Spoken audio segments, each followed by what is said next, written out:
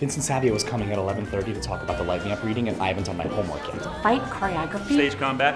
I'm sorry, stage combat workshop. You want to be partners? Oh my god, let's be partners. Yay! Do you want to tell me a little bit about what you're thinking in terms of casting? Yeah, well, actually, I'd rather hear your first take on this. Vincent, I don't know. What about Roxy McAllister? That is not your job, Gail. Maybe it should be. Hi. Hi.